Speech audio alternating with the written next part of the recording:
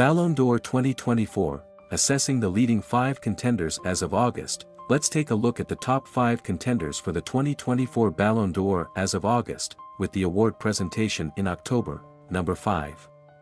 Kylian Mbappe of Real Madrid and France continues to impress with his performances, a strong contender for the 2024 Ballon d'Or, number 4. Lautaro Martinez of Inter Milan and Argentina showcases stellar goal-scoring prowess, rising as an underrated Ballon d'Or prospect. Number 3. Jude Bellingham plays a vital role at Real Madrid and for England, potentially becoming a Ballon d'Or contender with more standout displays. Number 2. Rodri, the midfield linchpin of Manchester City in Spain, stands out for his control and influence, a top candidate for the 2024 Ballon d'Or.